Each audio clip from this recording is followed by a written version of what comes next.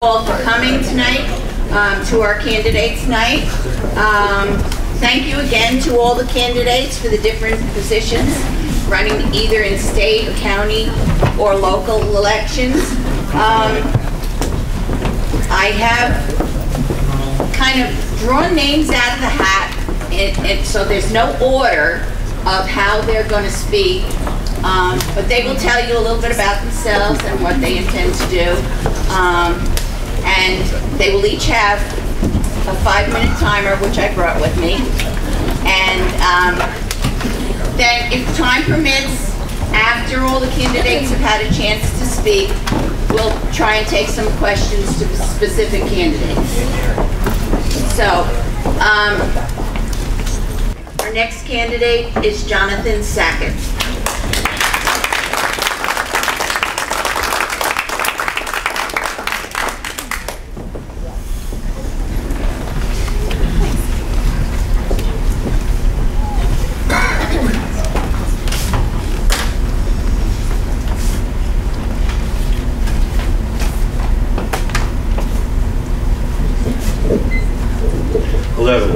Hello. Who don't, do not know me, my name is Jonathan Sackett, and I'm running for mayor of Rockaway Township.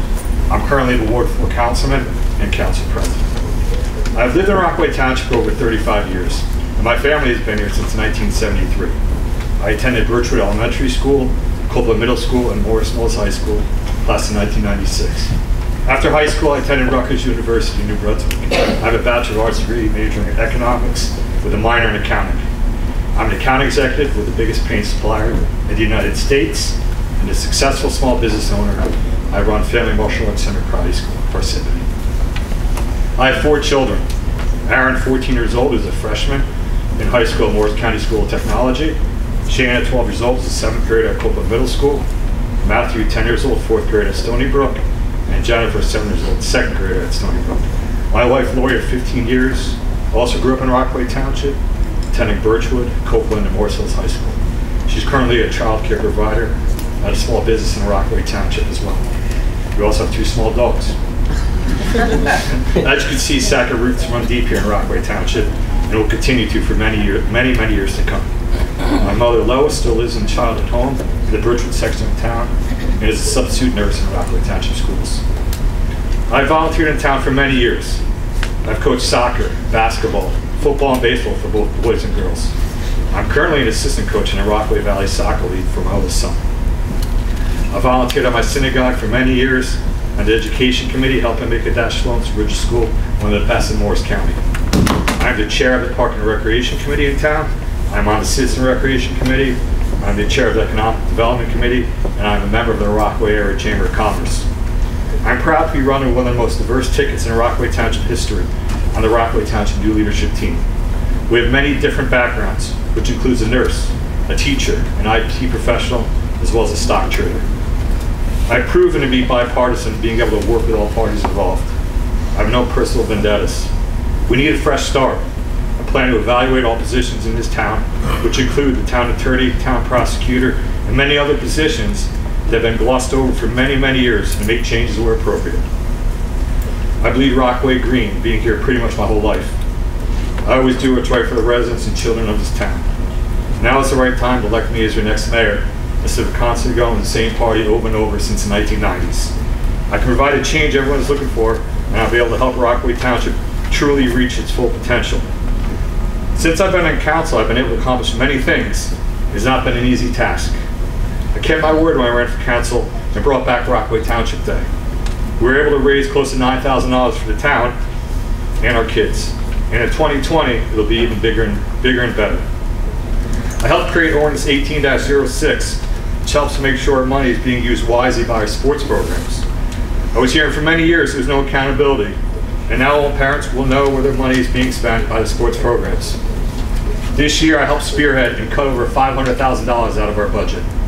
There was a lot of wasteful spending by the administration, and all the cuts that I helped make did not affect our residents. I'm very proud of this. The Peterson Field renovations have been a huge, huge talking point in this town. They were glossed over for many years and never taken seriously until I was elected in 2017. I spoke about that in my campaign in 2017, and I've been pushing for it since then. I'm the chair of the Park and Recreation Committee, and my committee has put together a master plan for Peterson Field. We have shown it to all sports programs and are ready to push it forward. Being involved with most of the sports programs since 2010, I know what parents and kids have been asking for and how they want to have our fields at best in Morris County. I will make sure to see this project through sooner than later with minimal cost to the residents and something we'll be very proud of. Since taking over as council president, I've been working on many things that have been neglected. I put together an ordinance committee that's been working hard, looking at all our town ordinances and starting to update them. This has been an issue for a while. They're looking at the Airbnb issue, which we are currently having in White Meadow Lake, and putting together an ordinance for that.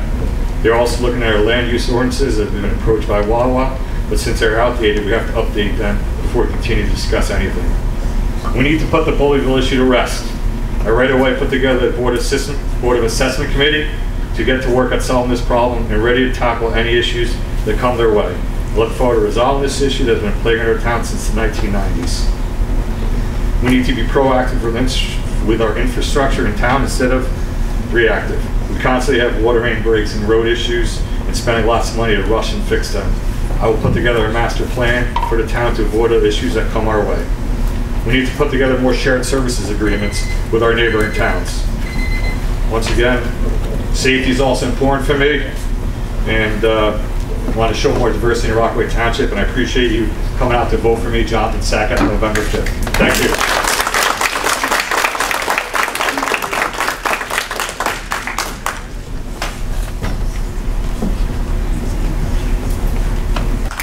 Next speaker is Michael Puzio.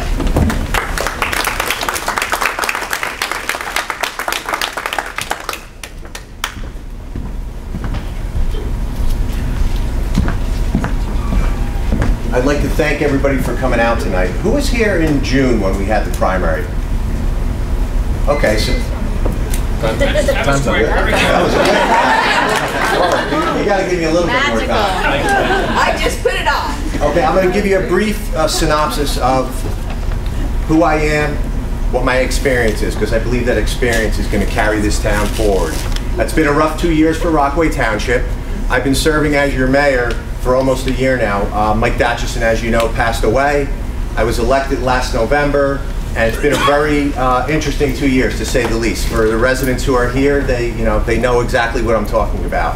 I believe that we've lost two years of time through infighting, through disagreements, through lawsuits, through we've lost time. And what's going to get us back on track? What is going to make us make up that time?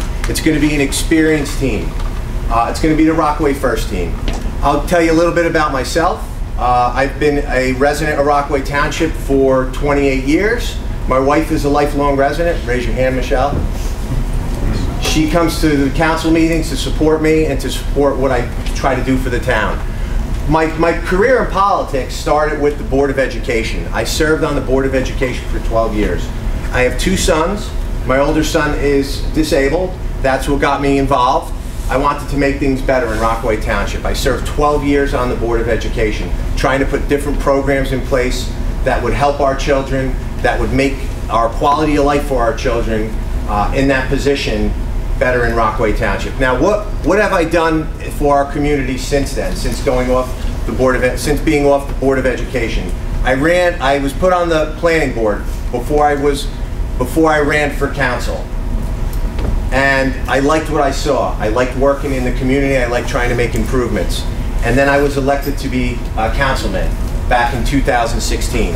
I was elected and I started my career as a councilman. There's a number of initiatives that I would like to establish in what I hope would be my first full term as mayor of Rockaway Township. However, no initiative can be successful without good government. Therefore, my first initiative will be to continue to restore and maintain a cooperative relationship between the mayor, administration, and council that existed before the last two years. This means a sharing of thoughts and plans and working across the aisle to do what is best for the township and its citizens. Now, I think that I have not just said the words, but I think that I have walked the walk here in town. Everyone knows that Rockaway Township Green has been my motto, and that I serve all of you, whether you're a Democrat, whether you're a Republican, and I don't believe that any one party, um, I don't look at a party system. I certainly haven't looked at it in this town. So I have not only, I'm not saying that I, I believe in a certain thing in non-part, in uh, bipartisanship. I have lived it. I have lived it. I have supported Democratic candidates as well as Republican candidates. I support who I feel is best for Rockaway Township and who is going to support my town. A second initiative would be the cons co- consistent effort by my administration to maintain a high quality of municipal services for the benefit of our citizens and to do so while stressing efficiency and cost effectiveness. Okay, I want to talk about our budget. Last year, myself and my administration delivered a reduction in the municipal portion of your taxes. A reduction. And that was done through creative planning, through lots of meetings with administration, through, with department heads. The township, if you look at your bill, for those of you that read, that look into your tax bill, 25%, approximately 25% of your tax bill is controlled by the mayor and the council. The rest of it falls on county tax and bulk of it is education. So what we did is, took that 25% that we control, and it's very difficult because a lot of that is, is contractual. Um, I settled three contracts, police contract, council six, and contracts and administrative uh, raises. I did all of that in one year's time, working cooperatively with our unions, working with our administration to give us a cost reduction on our budget. So I've, I've delivered that. Third, I plan to work with the school districts and attempt to address cost savings that can provide tax relief for the school component of our tax bill. Okay, we just put in SRO, we put an SRO into our school. How did I do that? How did I defray some of the cost? Part of the bill is being paid for by Rockaway Township, by the municipal portion. Part of it is going to be paid for Wow, that's not enough time. Okay. Okay, Thank you. If you have any questions, there's so much to go over. Um, I didn't have a lot of time to go over it. There's so much to go over that I've done in a year. It's hard to capture it all in one, in five minutes, but I'll be here and you can speak with me afterwards. We can talk. Thank you. Well, Susan Herman Royko. Roy. Roy. It's okay, she'll see.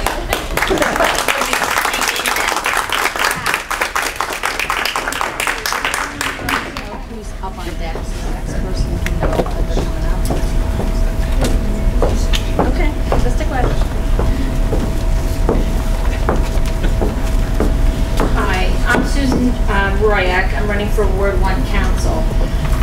Um, I'm glad I'm going early rather than later, like last time. Um, Anyway, um, I was born and raised in Rockaway Township. Um, I chose to raise my daughters here as well. Like, we came back to raise them in a neighborhood I grew up in. Um, I've worked in the corporate world as a junior financial analyst, and I've also worked in a school in Rockaway Borough um, as a paraprofessional and in class support, and finally, and also I worked my way into substitute teaching, um, K through eighth. Um, I left there um, when my father became ill, and I took care of him for about two years until he passed. Um, I have a degree um, in business, associate's degree. I chaired many fundraisers uh, through the schools, and I worked as a Girl Scout leader with my daughters for many years as well. Um, I'm running for council basically for checks and balances. I started attending council meetings a couple of years ago, and um, I was just a little um, upset with what was happening. I know that's all changing, so that's a good thing, but that's how I got started. Um, I think the council should represent all of the people, not just self-interest or certain people. There's a, there's a lot of diversity in the town. I met a lot of people recently. They, I, they gave me some issues, if I can find it. Um, I'll go back to that. My dad was a councilman when I was younger, and I saw how uh, he served with integrity and honesty. and I really would love to follow in his footsteps. I will work hard for the people of my of my ward and the town. I've met many of them when I was um, recently canvassing, and their main issues are the high property taxes, uh, council lawsuits, and the safety of their neighborhoods.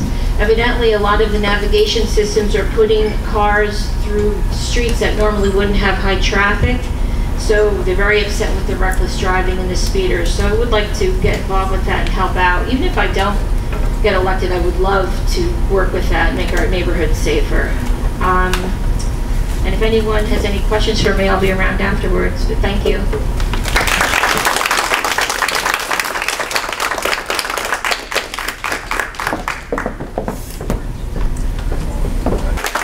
Next is Mary Noon.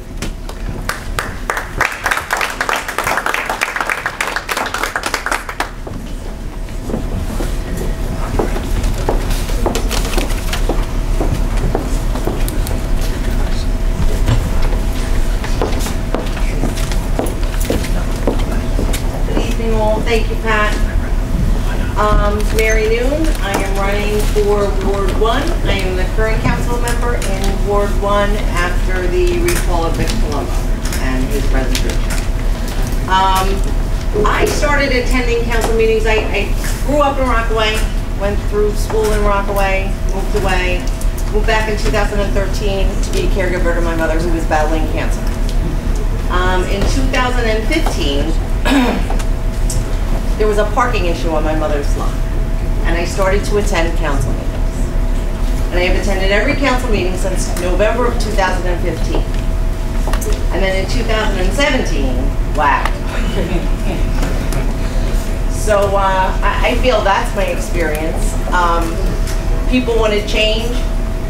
We got the change.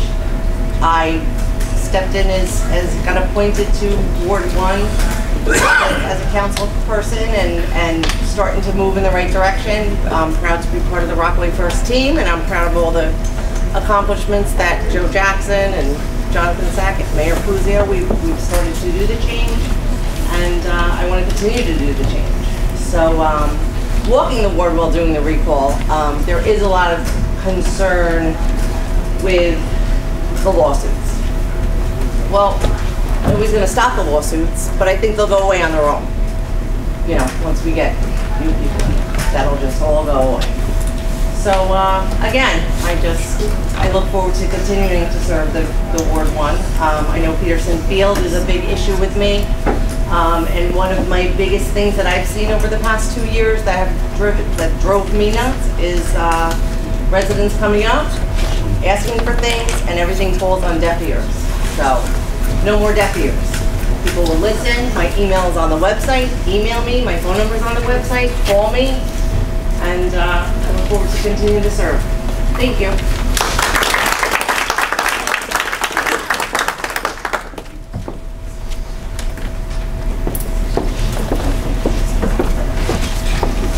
Next candidate is John Knab.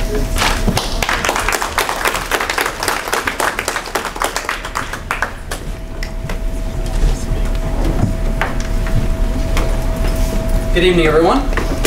Uh, thank you, Pat, for hosting us again, and thank you, Doug, for uh, taping as usual. Um, I, uh, I actually, unlike everyone else, uh, most of my uh, my running mates and most of my opposing slate, I took a little different path to get up here. Um, I did not, uh, I have not grown up in this town my whole life. I've been here five years. I actually grew up in the Pine Barrens, South Jersey, son of a federal agent and an educator. Um, I've been married for seven years. I have a two-year-old son at home, and uh, but you know when I was growing up down in the Pine Barrens, um, I was actually an Eagle Scout. Uh, so I'm very familiar with the thought process of serving the community. I've uh, I've grown up with it. So um, and then uh, once uh, you know childhood and my teenage years ended, I decided to come up north of the Turnpike, and I went to Ramapo College, graduated with a degree in computer science. Uh, for the past 15 years, I've been a software developer. And uh, one thing that uh, my experience as a software developer has given me is um, it's given me the experience of being presented problems and figuring out ways to solve them, which is incredibly important in all walks of life, but especially in all forms of government. Um, when uh, I started to get involved about two about two years ago. Uh, I just uh, started getting involved in politics. Didn't like what's happening nationally, so I decided to start at the local level and uh, see what was happening. And what I saw, what was happening at the local level, was um, not spectacular, put it lightly. Uh, so um, I uh, decided to um, uh, I applied for and got appointed to the Tech Advisory Committee. And then uh, later on, a few months later, I decided that I was going to run for council and try to uh, bring a little bit more civility, a little more change, and bring my, uh, my experience, my skill set uh, to the council. Um, one thing that uh, I think Jonathan already mentioned was uh, fiscal responsibility. Um, I'm I am a Democrat, but I am a fiscally conservative Democrat. I don't like having money spent wildly. It just makes me uncomfortable. Um, I invite everyone to go back and look at the March council meeting. Um, sorry, March budget meetings, and you get to see, as Jonathan said, cutting $500,000 from uh, as he did and Councilman Freelander in the back did, and you get to see it. I invite everyone to do that. Uh, that's definitely the uh, the kind of government that I want to be part of moving forward. Um, one thing that uh, is a, a personal note of mine is uh, about uh, getting permits in the town. Um, I've been uh, working on this one particular permit on my property for a few years now. It, it's actually gotten easier to know what I have to do to get through the permit process. One thing I think could be a little easier on the residents is not even the cost of permits, which usually are only a few hundred dollars, not bad, uh, but the cost of the documentation to get those permits, engineering costs, DEP costs. If the res- if a resident could know what that is in uh, before starting, they'd be able to better budget for their time for their project. That's something I definitely want to look into. Um, uh, one thing that also needs to be done is the ordinances in this town have not been updated in quite some time. Uh, they're starting to. Uh, I know uh, Jonathan mentioned the Wawa about uh, the businesses that need, you know, basically, uh, you know, the Wawa, and also the, um, uh, also to update them to prevent OPMA violations, because a few of those have happened, and it's really been a legal mess for the town. Uh, those are starting to get better. We'll just make sure we prevent them going forward. And uh, again, the needs assessment on the rec, not just uh, rec structures and uh, the fields, just to make sure, uh, and not just Peter Peterson Field, but also at all the all the fields, all throughout town. Um, if anyone has any questions, uh, you can. Uh, I'll be hanging out afterward. Uh, you can always just uh, give me a shout. Thank you very much.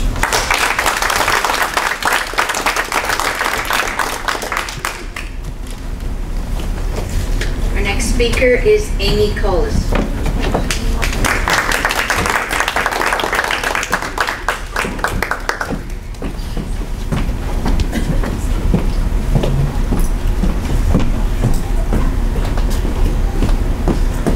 Hi, everybody. Amy Kolis, Sagittarius. Um, Thanks for having us here, and I promised that my parents that I would speak into the microphone and slowly. Um, I grew up in White Meadow. My parents grew up in White Meadow. They met here, and it really is the land of milk and honey.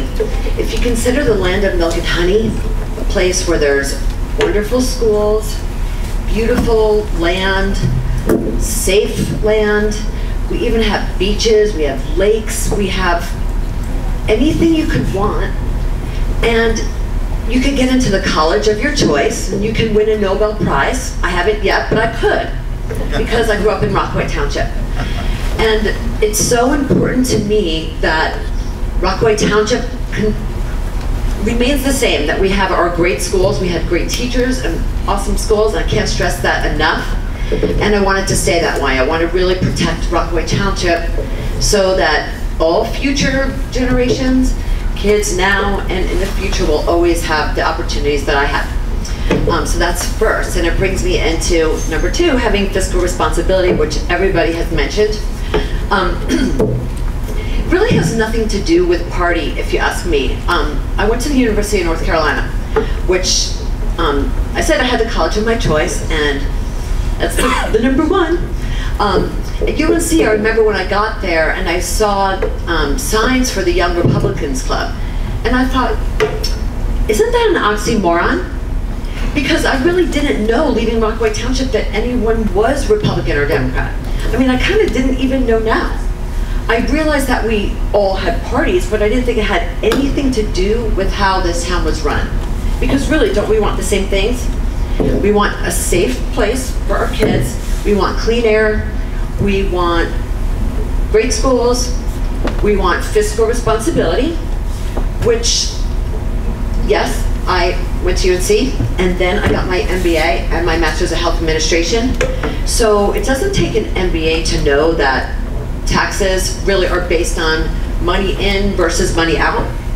So what if we could think of some things that would bring money in by tapping into government programs that allowed us to use, to bring renewable energy programs so it would help the environment at the same time as bringing in money, lowering our tax dollars. And of course, we've all talked about the lawsuits, the frivolous lawsuits that are going to be no more. So lowering taxes, is it a possibility? Well, we would all love it. Republican, Democrat, it doesn't have anything to do with it. Um, so getting along has a lot to do with it. Which brings me to my third reason that I, um, my big thing that I want to run about. I am a hardline anti-bullying person. No bullying for kids, adults, politicians. There's really no reason for any of us to have bullying in our lives. We've had some tragedies in this town, and we need to really remember arguing bad. We need to all listen to one another.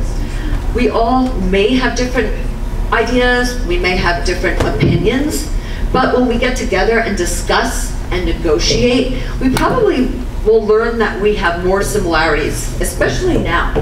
Um, what a, what a good group after all the years that we've gone through turmoil. Um, it's nice to be a part of my ticket, which seems to be on this side, and um, and some of them are on this side. Um, there's the suits over there. Um, also, I have to mention we have some women who are running now. Isn't it W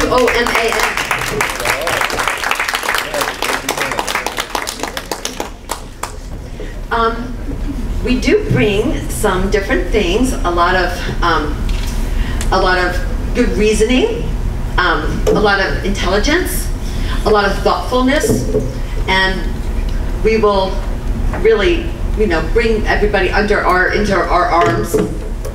And um, so, basically, in summary, um, I want to keep the town as beautiful as it always was and is, and get us into the best schools, and be kind and rule with, um, govern together in, a, in a spirit of community. And um, that's it. We're, we're all, our doors will always be open. Um, and we'll help with anything that we can. Thank you.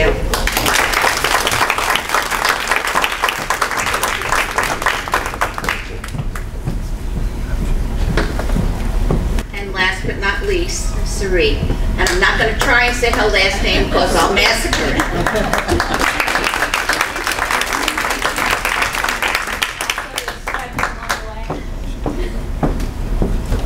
Hi everyone. If it's okay with you, I'm not going to use the podium because I will definitely leave and get into some bad.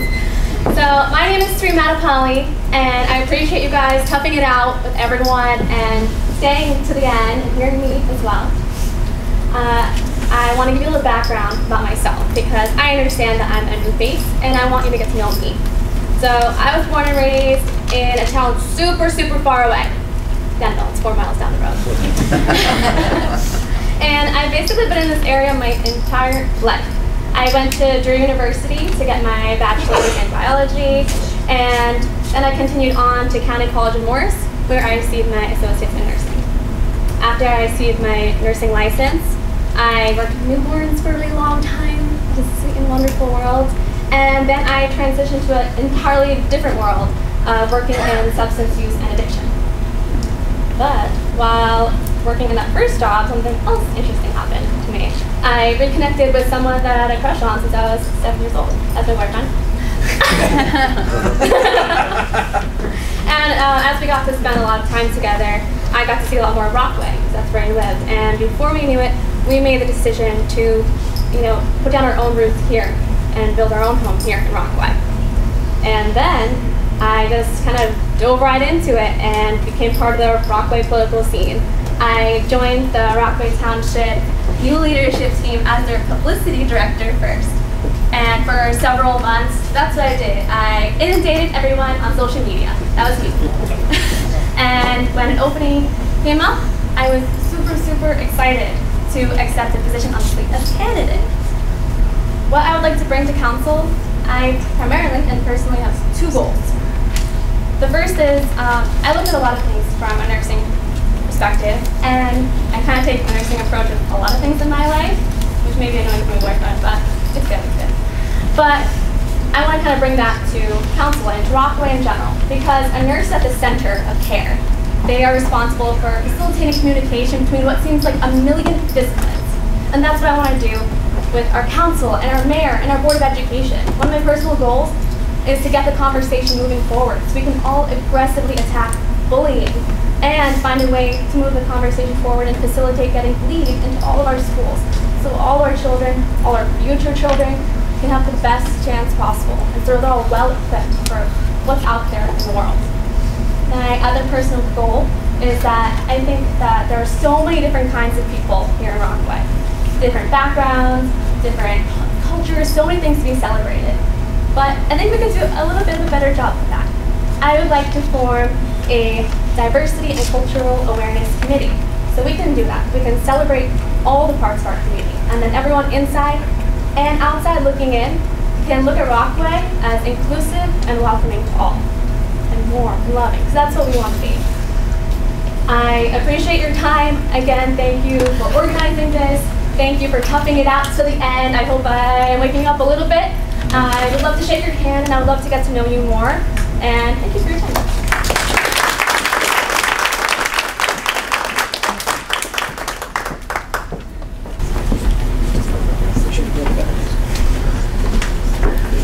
Our next candidate is Joseph Jackson.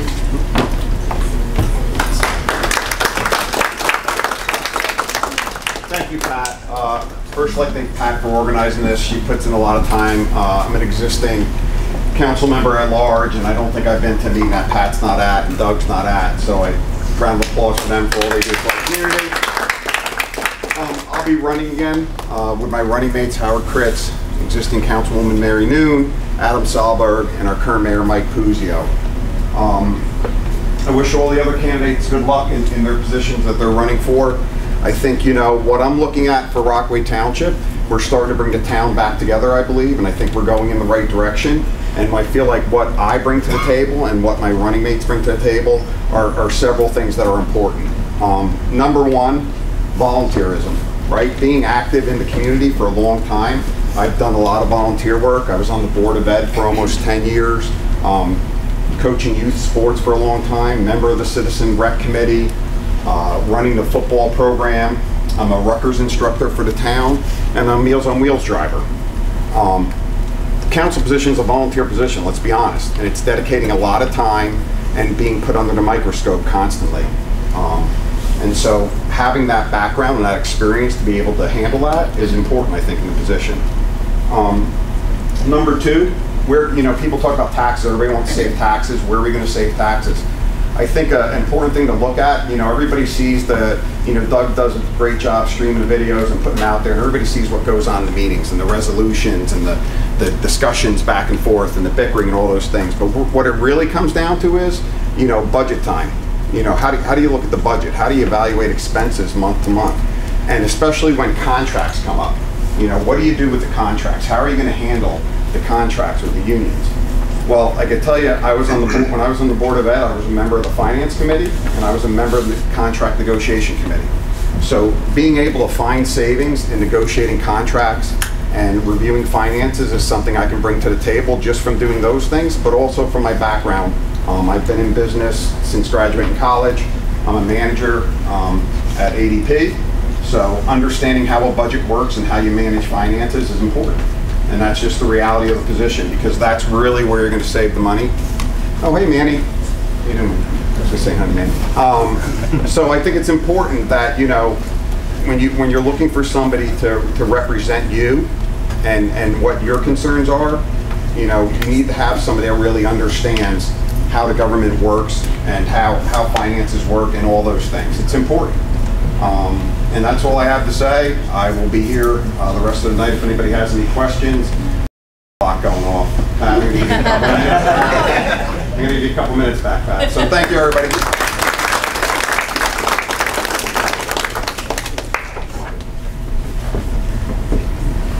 Next speaker is Adam Salberg.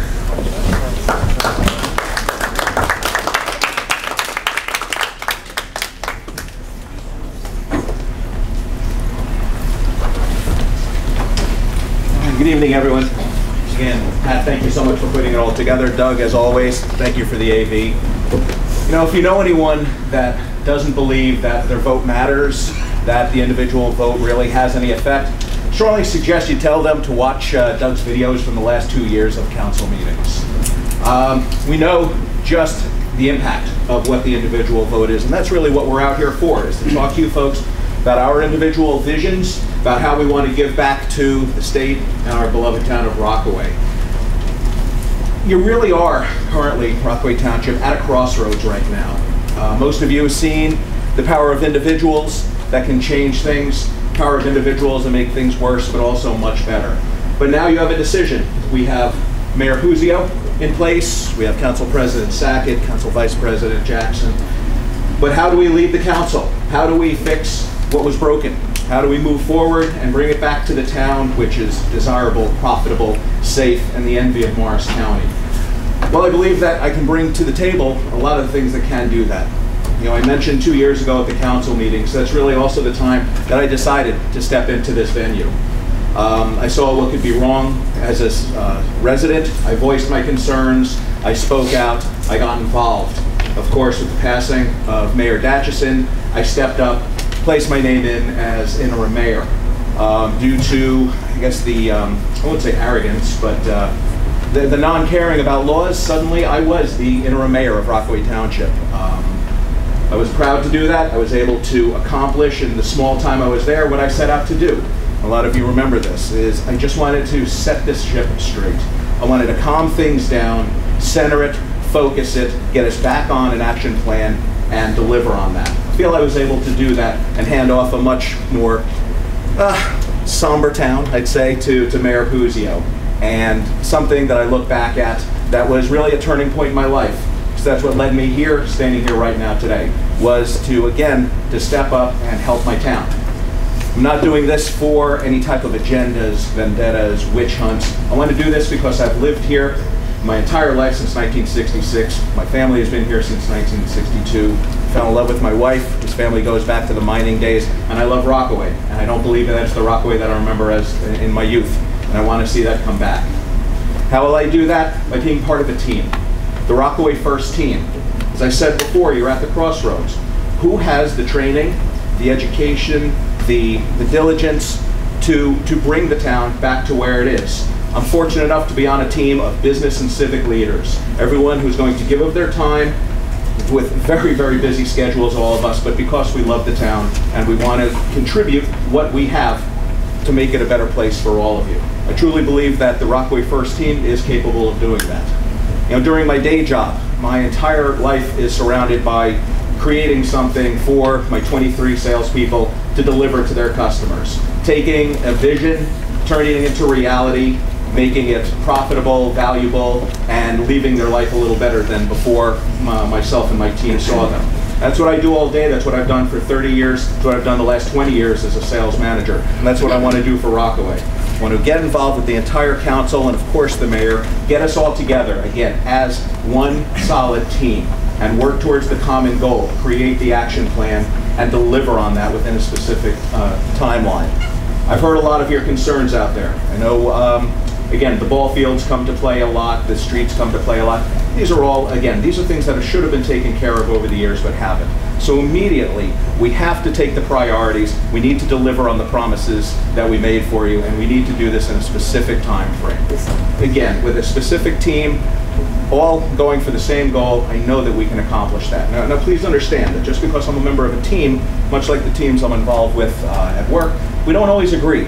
We all agree on the common goal. How we get there is, again, where each individual's talents, ideas, and visions come to play, so we all come together with your best interests at heart. So again, Uh, I had the opportunity to see Rockaway from the inside out as interim mayor. I've had the opportunity to, to be on a team uh, of business and civic professionals. Now I'd like to take that and work for you. I hope that you'll vote for myself and my Rockaway First team on November 5th. Thank you.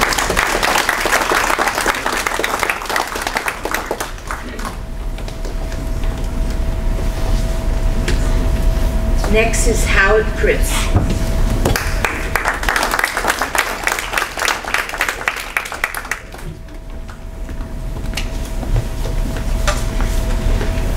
Good evening. My name is Howard Kritz, and I'm running for the position of council at large. Uh, Pat, thank you for putting this on. I have an enormous sense of pride when I when I get to tell my family that I've been invited to speak here. And my son looks at me with a little bit of admiration and says, "You know what? That's really cool. You think they'll have cookies again?" I successfully ran in the primary on the Rockaway First ticket along with Mayor Puzio, Joe Jackson, and Adam Salberg. I want to thank you for your support. We're also very happy to have Mary Noon with us as part of the Rockaway First team now as well. My volunteerism has always been in recreation. I've been a director in the Rockets football and cheer program for many years now.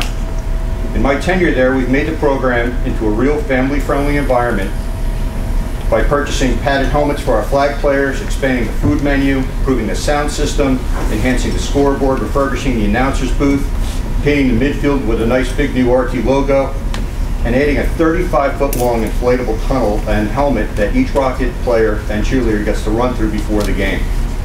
We were able to do all this by fundraising at the program level without asking any parents for fundraising assistance. The program keeps growing, and now Peterson is a destination during home games for friends and family to come and have fun. I'm a senior manager with CVS in charge of online fulfillment. My job is to direct orders once they've been placed. I am responsible for overseeing a staff responsible for tens of thousands of orders placed daily to ensure they are filled correctly and completely from one of our 99 fulfillment centers spread out across the country and delivered on time at the lowest cost. I have extensive experience in retail management and fulfillment operations. It's my job to make sure that the best result is derived at the lowest cost and on time. I know how to get things accomplished in a challenging environment and want to take that experience and translate it to our town's needs.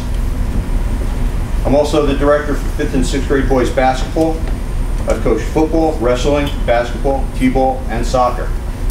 I love being extensively involved with our town rec programs, and I want to expand my volunteerism our local government. I think that our taxes are too high. So say something like that, it's really easy, makes a great cash line, it looks great on a sign, but the path to alleviating that burden is not as clear cut. I have four young kids, and I love living in Rockaway. I want to be able to afford living here and be able to give my family what they deserve, but at what cost? A large portion of our taxes go to education. Now, with four kids in the public school system, probably getting my money's worth, but is there an opportunity to reduce the taxes here? I can't in good faith promise that I will lower taxes. What I can promise is that I will work tirelessly with the administration and school districts and try to address any cost-saving opportunities. I'd like to have uh, a review of our budget to see how we can save money while keeping the same level of standards and services. I know Peterson Field has been a major topic of discussion for a long time. I'd like to work with the council and administration to address needed upgrades and repairs there sooner rather than later. I know extensive work has been done regarding uh, the Peterson improvements. Uh, I'd like to work with the engineers and see how we can address the opportunities to better our facilities, most importantly at a reasonable cost.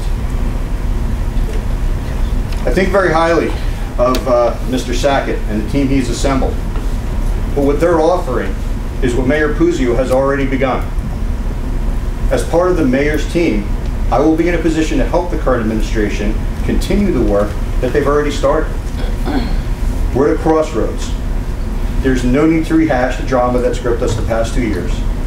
But we've already started back on the path of progress, and I want to continue that work for you. I'm sick and tired of local politics being a spectator sport. I'm tired of the mudslinging. I'm tired of the name calling, both on Facebook and forums, and even in the council meetings. I want to restore dignity and your faith in local government, but to do that, we need people aligned with our mayor's vision. If elected, I will deliver on my promise not to just comprehensively review cost-saving opportunities in an attempt to reduce our taxes, but to start rebuilding your faith in your community and truly putting Rockaway first. My name is Howard Kritz, and I'm running for council.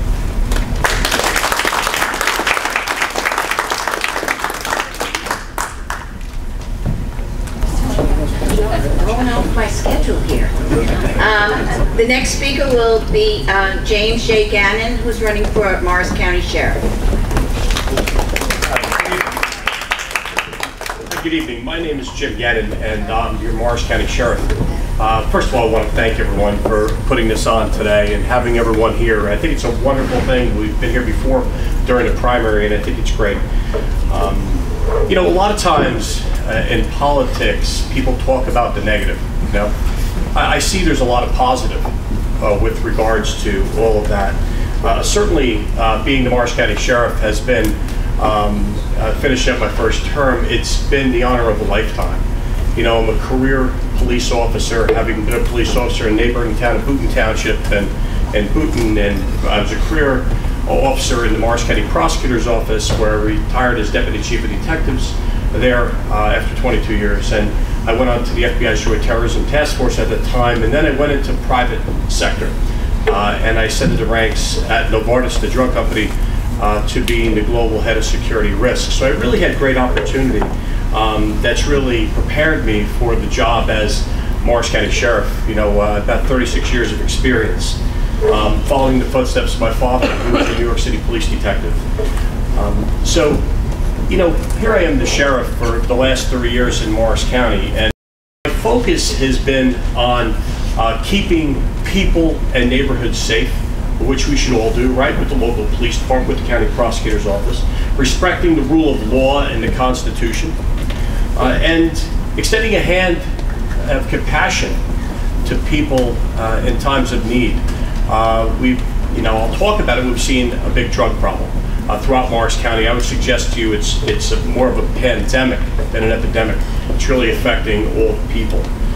So, uh, you know, I learned a lot of those values as a beat cop walking the beat in Boonton, where you really uh, were with people day in and day out, people who lived in the neighborhood, uh, store owners, those types of things, and children. It's really served me well. Aside from being uh, a dad, you know, I was with my daughter today and, and uh, happy to uh, a three-year-old and a, and a 12-week-old, 11-week-old girl. Um, it's been the opportunity of a lifetime being your Morris County Sheriff. So you've probably seen in the news some of the things we've been doing in the sheriff's office. Uh, I think the biggest thing you've probably seen is Hope One. Hope One is a mobile access recovery vehicle that goes out into the community and helps people with uh, mental health issues and addiction issues. Uh, we went out, we have a vehicle bringing services to people in the at-risk populations, you know. There's about 388 documented homeless in Morris County. We focus on people without support. So uh, we've been out there. Uh, never my wildest dreams would I have believed that uh, we have, would have been out about 350 times so far with mental health professionals, addiction specialists, and the sheriff's officers in civilian clothes. Um, about 9,000 people have approached us and needed some information on opioid addiction and mental health. Um, about 270 people have been direct placements uh, for mental health programs or addiction programs from the street. This is cold call. If you're in sales, this is like cold calling. You know, uh, we've trained about 2,000 people in the use of Narcan. We can document 37 times where people have used that Narcan to bring people back, and there's a lot of stories out there with regards to it. Now, Hope One is in Monmouth County, Cape May County, Burlington County. It's turning on in Jersey City and the big city of Newark, Hope One Newark. So it's out there in the community. It's a model that's being recognized uh, in about two weeks out in Chicago, where we received first place in the private-public partnership uh, from the International Association of Chiefs of Police, and the list goes on with addiction. RSVP, Responsible School Violence Prevention. You may have seen the Daily Record uh, last week. There was a press conference with regards to an app we developed so that students and and people could report suspicious behavior before something happened in schools. We've also taught curriculum in schools with mental health professionals, police officers, and educators to spot behavior that was potentially problematic. um, to return children to the chemistry class, return them back to the ball field. You know, but some children uh, may be having some difficulties that we can assist before something uh, goes bad. Um, we've been spending a lot of time at our houses of worship in Morris County. There's 317 houses of worship. Uh, there's 34 for the Jewish people. And uh, the Jewish people have been subjected to more terrorism and violence than any other group. And uh, we spend a lot of time during the High Holy Days at synagogues, temples, or churches. Uh, so uh, just some of the things that we're doing. But it's been a great opportunity over the last three years to be your Morris County Sheriff. I look forward to another three years. I look forward to your vote on November 5th. If anybody has any questions, come see me at the courthouse or I'll be around for a little bit. Okay? God bless you. Thanks very much for your time. Our next speaker is William Schievella.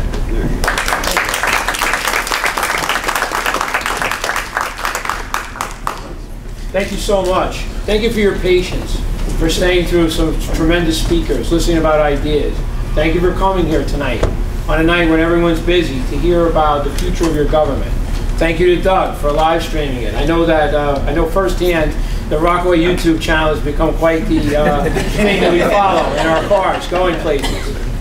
So, my name is Bill Schievella. I've lived here in your town for 20 years. Rockaway Township is my home. Rockaway Township is a wonderful place. I think we all agree on one thing. All of the people behind me, regardless of what party you're in, regardless of what office you're seeking. So I started my career 30 years ago at a very unglamorous position as a correction officer in a state prison. Walking in the beat inside of cells with dangerous men and women.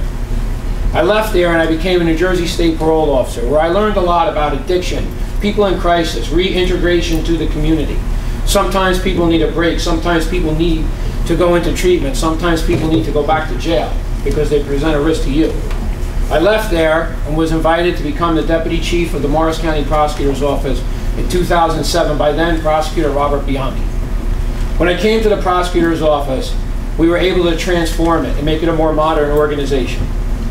We cut a bloated command staff down in the five years that we were there, reducing the number of high-level investigative positions there and reinvesting the money in the bottom with assistant prosecutors to prosecute cases, detectives. We cut $4 million in operation budgets by limiting the amount of fuel that detectives used in the car. We created a community affairs unit that had never existed before to go out and ring everyone's doorbell. All of the faiths and communities in all the corners of Morris County that before had not seen the prosecutor's office until there was a time. We had the first, he's, he's no longer with us, he was a dear friend, but we had the first critical infrastructure coordinator that created the system that we have now today and where houses of worship and schools were evaluated for risk to make sure that they were safe against terrorists, against people that are here to do harm. In 2009, I became the chief of detectives in the prosecutor's office. After that, I had the honor of being the president of the Prosecutors Chiefs Association of all 21 counties, where I was able to be a part on a statewide level, moving the future of law enforcement. I was given the opportunity under former Sheriff Edward Rochford to serve as an undersheriff with your mayor, Mike Puzio. We were undersheriffs together. We led the day-to-day -day operations of the sheriff's office. Here in Rockaway Township, I served as a councilman. Was honored to be an at-large councilman elected and re-elected. I was your deputy emergency management coordinator on 9-11. I was here in your municipal building trying to figure out what to do with the school children from Picatinny Arsenal.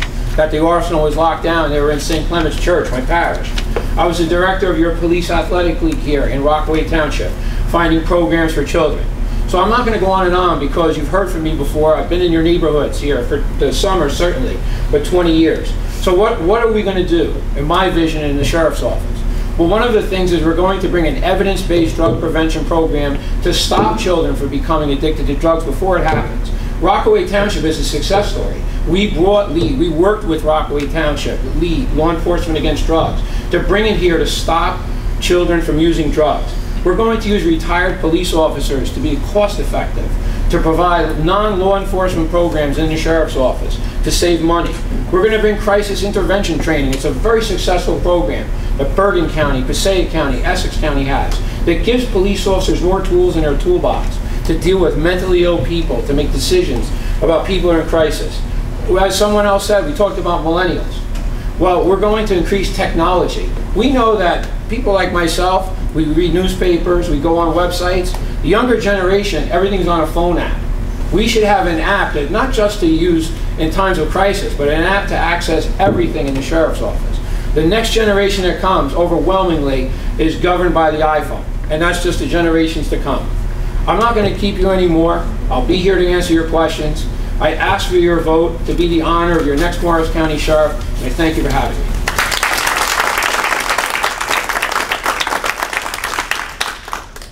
Next speaker is Michael Thompson.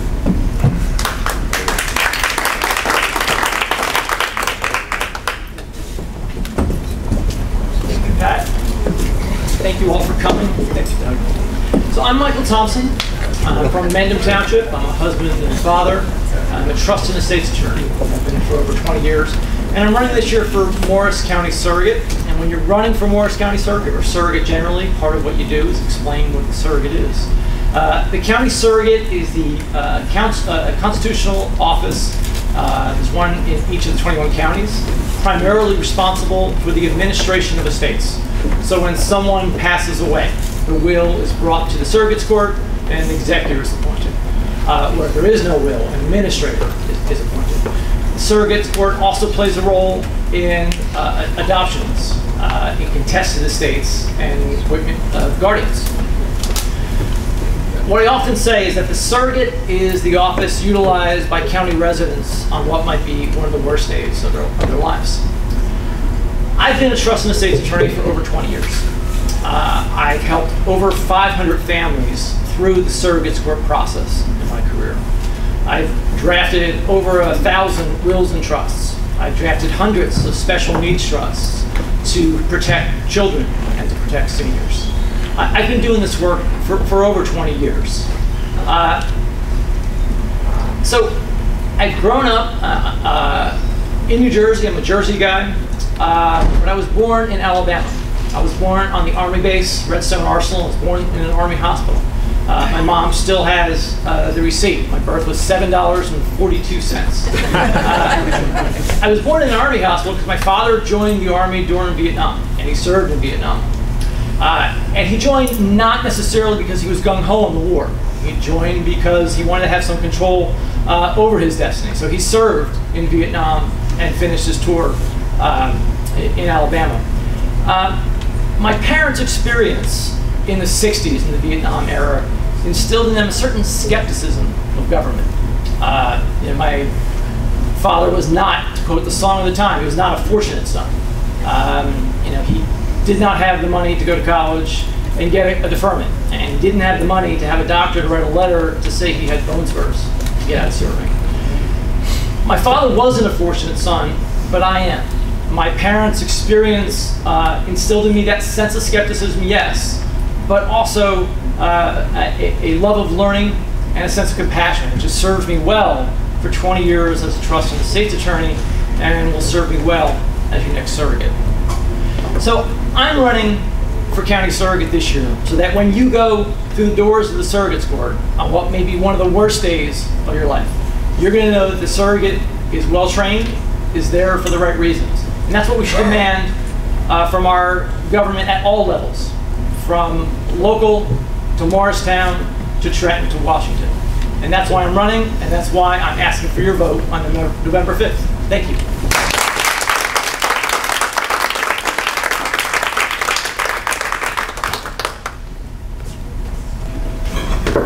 Next we have Heather Darling.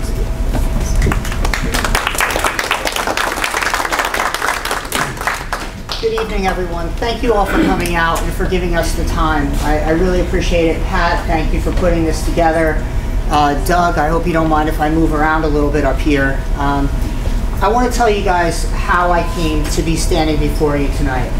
So I've been a Morris County resident for 45 years, and I've been involved in community service for the last 30 years since volunteering right after high school at Welkind Rehabilitation Facility, which is now Kessler over in Chester. Um, I currently live in Roxbury. I've been involved in the community there in community service for, again, 30 years. I've been on zoning, I've been on economic development, Rotary, Chamber of Commerce, um, in Unico uh, with Mike Puzio and Bill Schievella, in Italian American Police Society of New Jersey with these gentlemen. So not only am I part of the Roxbury community, I'm part of your community through association as well. Many of you I've known for many years, and uh, I'm, I'm proud to call you my neighbors and my friends. Um, community service brought me to running for the freeholder board. I'm currently one of your Morris County freeholders. And um, as you heard Freeholder Mastrangelo say, we've actually done a considerable amount, um, even in the, the short time that I've been there on the board. Um, when I ran for freeholder, I ran to continue my community service background, my community service record, and help the community, further the community that I grew up in and better it because I think we leave things better than we found it. That's what we're here to do.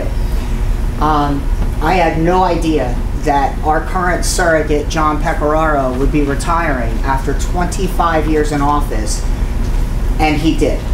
He announced his retirement, and I thought this is a perfect fit, and I'm going to tell you a little bit more about my background now and why I think that's the perfect fit for me because not only am I an attorney that practices general practice, including estates and trusts, for over 15 years, I'm a small business owner. I built that business from the ground up on the heels of my father's death when I was 32 years old. When I was five, I lost my mom to melanoma. I was raised by one parent who was a senior by the time I was 10 years old. I made decisions at 20, at 27, and again at 32 that I wish on none of you. But the, the ones that I made at the time that I was 32 were because my father was in intensive care in Morristown Memorial. And it was after a surgery that should have ended his life or continued his life in a positive direction. He never expected when he made the decision to undertake this voluntary procedure. Um, he had two choices. It was voluntary. Neither was good. But um, he never knew that he would spend three weeks in ICU. And I never knew the decisions that I would have to make. So there I was, no mom, no brothers, no sisters, doing this. After that, after three horrible weeks, I was in the surrogate's office. I had passed the bar. My passing results were in the mail when I came home from my father's funeral. So here I am with no experience in law, just a law degree and my bar results and I'm probating an estate. And I did that in the Morris County Surrogate's office. So I've experienced it in a way as a practitioner and as a person who's been in some of the worst positions you ever want to find yourself in in that office. So I know what it's like from both sides. I know what it needs and I know how to make it better. We have millennials dealing with that office now, and that office deals in microfiche. We need to bring it current. You heard from the mayor talking about his son. We have kids with special needs. Their parents don't know that they need a guardianship when that kid becomes an adult so that that parent can still advocate on that child's behalf. People don't know that this resource is there for them until it becomes a need and they go looking for it. As a freeholder, I have been out in the community every day, every night. Not just while I'm running, but literally every day, every night for approximately five years, even before I was running, speaking to people about the services that we have here in our community, in our county, that are available to you. I intend to do the same as the surrogate. People talk about going out to groups and what they're going to do. I've been talking to senior groups. Every time I talk to an organization in this county that deals with children with special needs, I talk to them about how, as surrogate, I can get in touch with the parents and let them know about the resources that are going to be available for them. This is an absolute passion and destiny has brought me here and I ask for your vote on November 5th for Heather Darling for Morris County Surrogate. Thank you.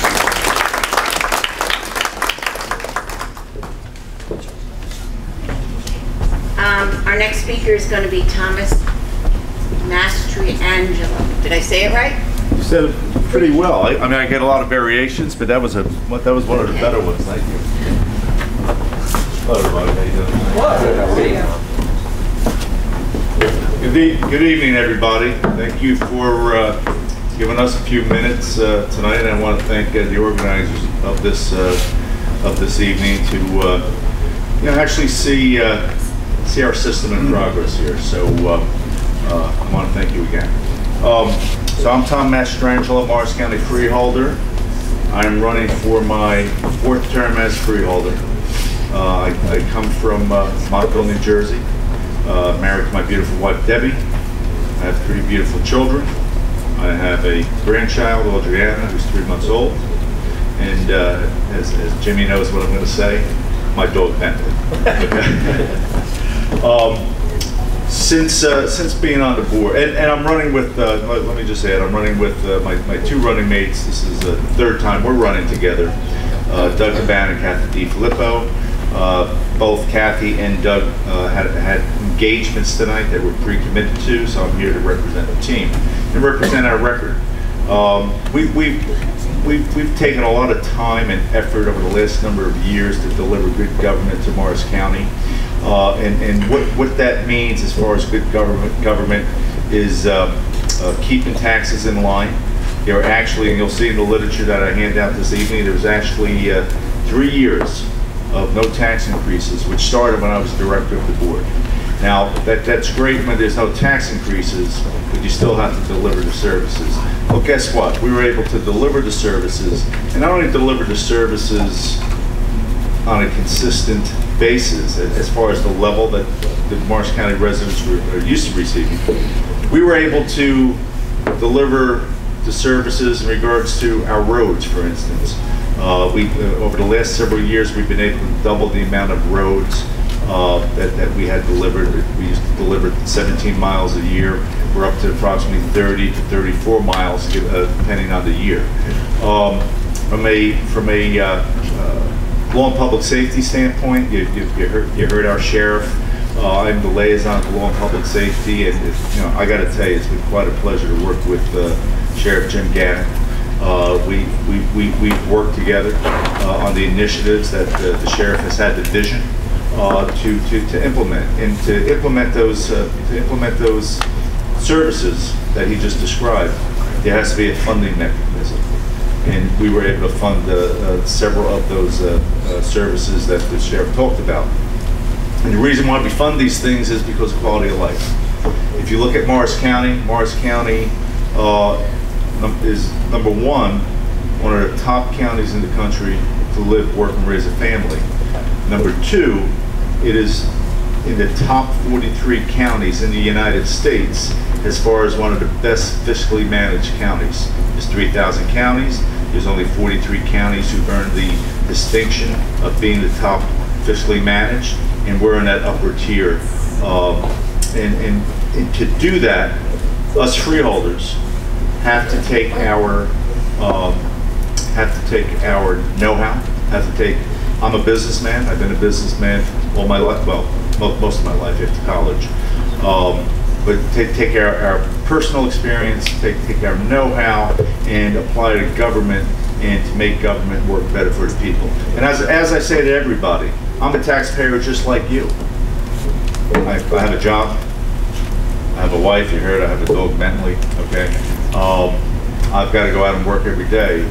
Okay. And I don't like taxes, but I like a good quality of life. And in order to do that, uh, we've been able, you know, I've been able to work real hard to deliver that quality of life here in Morris County.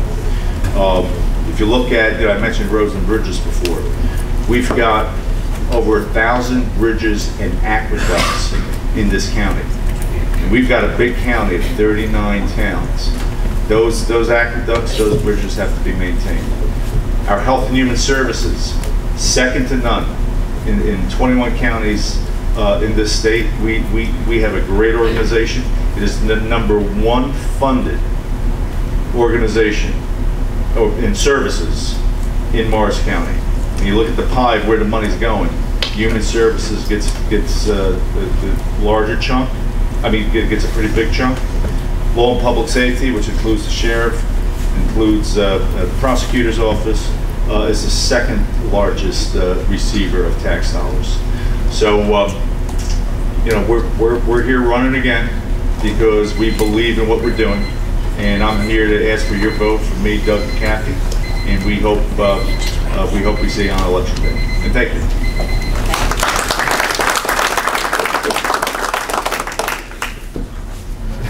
Pretty good, okay, I might murder another name. uh, David Timpanaro? Dead on.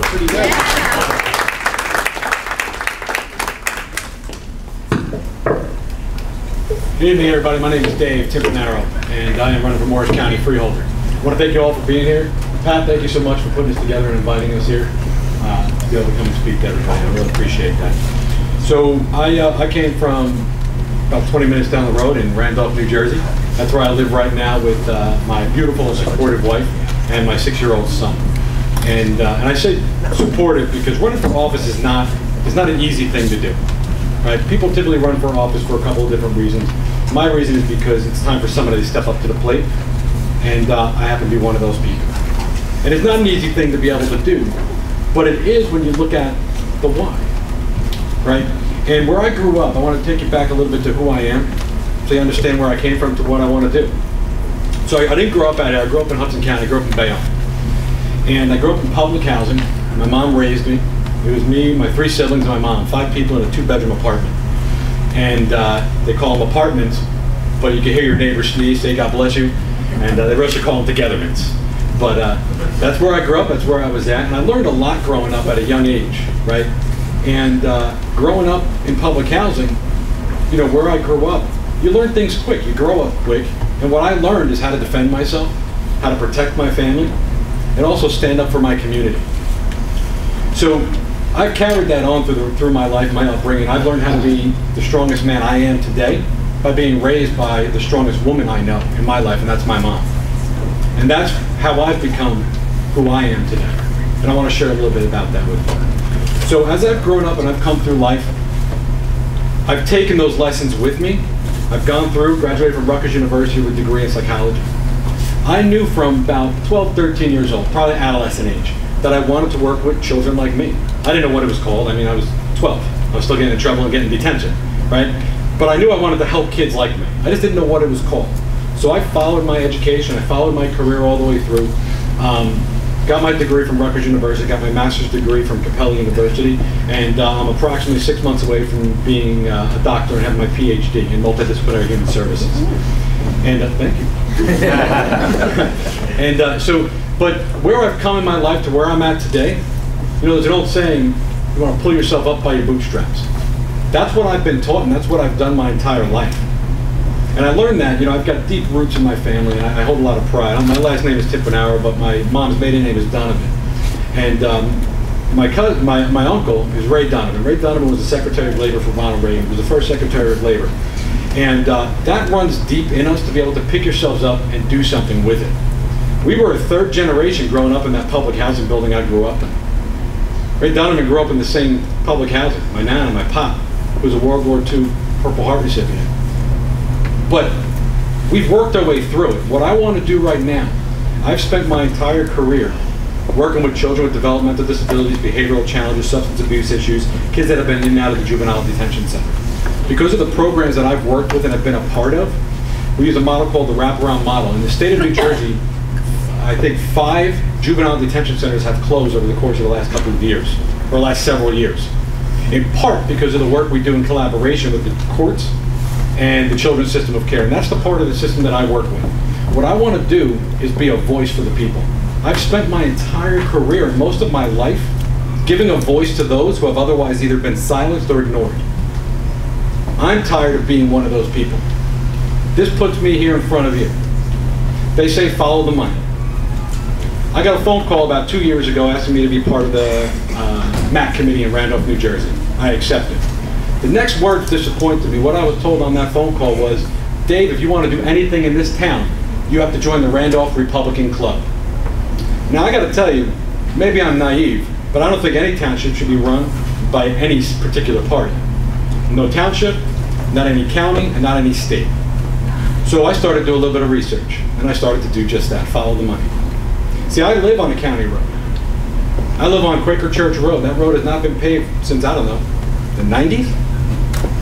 Right? I put on, uh, I, spoke to the county engineer. We had it relined so that my family was no longer put in danger and the people that lived around that same intersection. and now they're gonna supposedly repave the roads. Now, here's the deal. I did this as a civilian, somebody, a resident, who lives in Morris County on a road that was bothered by a lot of things. My house rocks when these trucks pass me, right? But as a civilian, as a resident, I was able to be able to connect with the county and have those lines repainted to help make that intersection somewhat safe. Imagine what I could do if I bring your voice as an actual freeholder. My goal is to do just that. I'm not interested in partisan politics.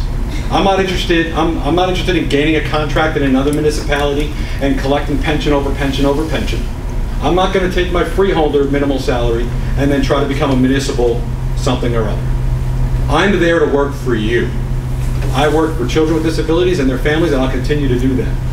I'm not looking for a payday and an end. What I ask you to do is do your research, look who you vote for, look for our names on the ballot. My name is David Timpanaro. I'm running with Cara Parmigiani and Carrie Amaro, and we look forward to your vote and serving you. Thank you.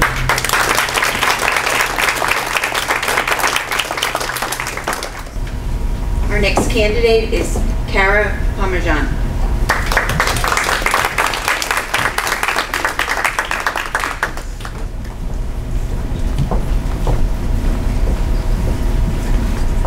Thank you so much, Pat. Thank you, everybody, for being here.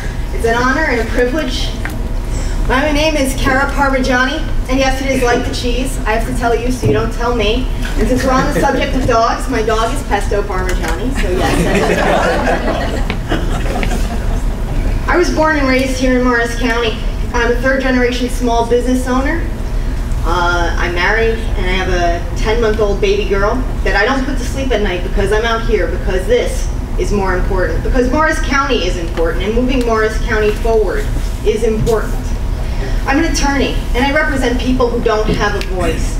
I represent, I'm a general practitioner and I'm proud to represent everyday people, every day with everyday problems and really that's what the Freeholder Board is about. I also represent children in court and patients in psychiatric facilities throughout the state of New Jersey, and I understand what mental health is like here. I understand what the drug and opioid addiction situation is like. I, as a law clerk, worked on drug court, and I continue to work with the Alumni Association and the Morris County Drug Court. I sit on an affordable housing committee in Mountain Lakes as a volunteer. Uh, because I understand how important affordable housing here is in Morris County, and that 50% of people who work, live in Morris County don't even work in Morris County, and we can do more to change that.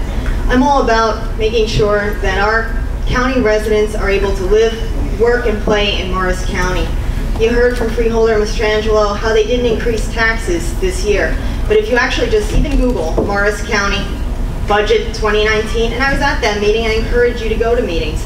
It shows that their taxes actually, your county taxes went up $11 on average. And although that may not seem like much to you, it does go up every year. But you know what doesn't change is taxes, it not only is taxes, but also your infrastructure. You heard about paving the roads and improving bridges, and I've driven through most of this county, and I can attest to the fact there isn't very much change in that happening, but there's no plan for improving our traffic nightmare that's here in Morris County every single day. We have uh, problems not only at the state level for the roads, but also your county level and your town level. And without your county level working together with your federal and your local level, things don't get done, and you sit in traffic. And things haven't improved. And I've lived here long enough to know that. I've been endorsed by the Transport Workers Union because they also feel strongly about the uh, traffic infrastructure nightmare here in Morris County, and we want to do more than just talk about it. We want to actually move it forward, and paving isn't the only answer to doing that. You heard from Laura Fortgang how our Vo-Tech school turns away two out of every three applicants when college is so expensive to right now. And the trade jobs are a great pathway towards development. And what you're going to find is as Morris County develops, is that we're going to be developing in two major ways, uh, in technology and also in jobs that don't require a college degree. Well, when we're turning away students who can be educated in a way that doesn't require a college degree, we're shutting doors now for more of our residents. So not only uh, is affordability a problem that shuts doors for people here in Morris County, but now also uh, being qualified for jobs here in Morris County. Um, Lake Hopatcong isn't an accident. It happened over time. We've had the same people in positions of power now in the Freeholder Board for 46 years, unbroken until Doug Romaine. And at times they talk about how they've reduced the deficit that they caused. because they've been in power for 46 years. And again, we're here to change that. We're actually here to do more. And when the people of Lake Hopatcong came to the Freeholder Board and they said, the DEP isn't helping us, the EPA isn't helping us, if only we could get, and I was at that meeting myself, but I was sitting on the sideline and I could do nothing at the time. But when they came to complain, they didn't get help. And now, as you heard, it's $4 million to clean up because again, we're doing nothing. We have to do more here in Morris County to move everybody forward. And believe me, if this were getting done, I wouldn't I'd be at home with my baby girl, putting her to bed.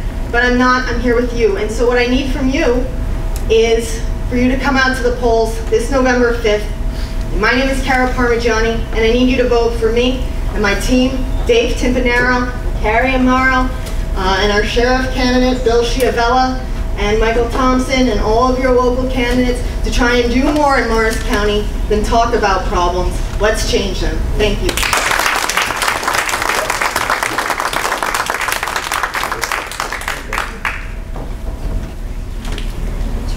Next speaker is Carrie Amaro.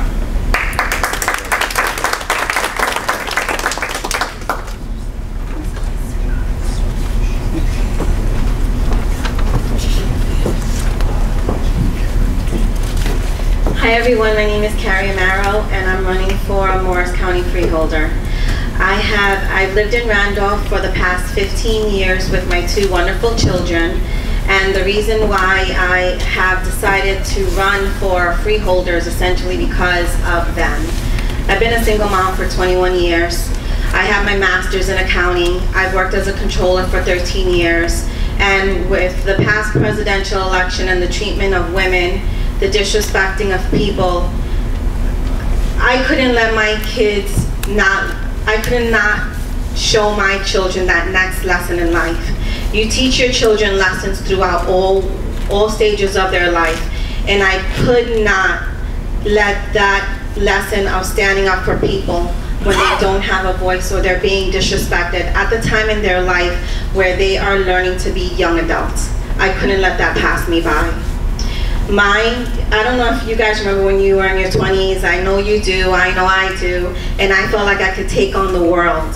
I felt like I could make a difference. And with everything that happened a few years ago, I saw my children kind of not know if that was really the case. And that's why I'm standing here in front of you today.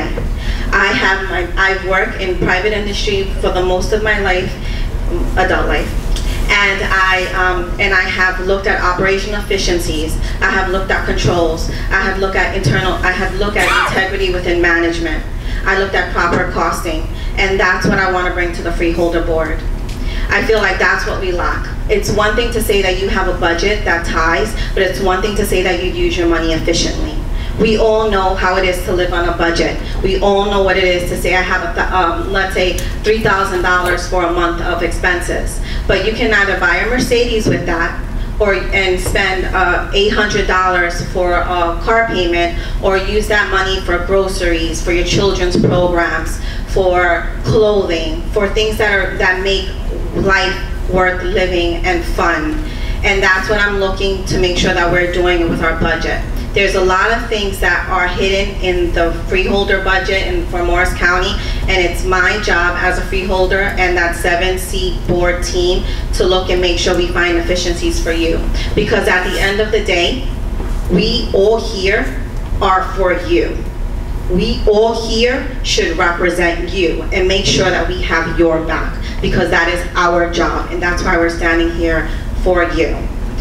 Finally, on the freeholder board, not only is there a financial aspect to it, but there's also a human decency aspect to it. I've been to a few of the ah! meetings, and quite frankly, I'm not impressed with the way that they treat constituents that go there to voice a concern. I feel like it's they're they're condescending, and I don't feel like people should be treated that way.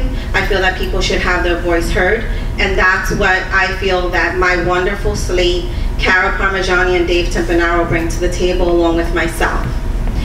At one meeting that I went to, there was a gentleman who, he was 89 years old, he was a veteran, and he wasn't there to speak to the freeholder board. He was essentially, because I guess he'd been there multiple times, he was there to speak to us, the room. And he just wanted someone to hear him, someone to help him get help. someone to help him get help because he was having difficulties with getting an appointment.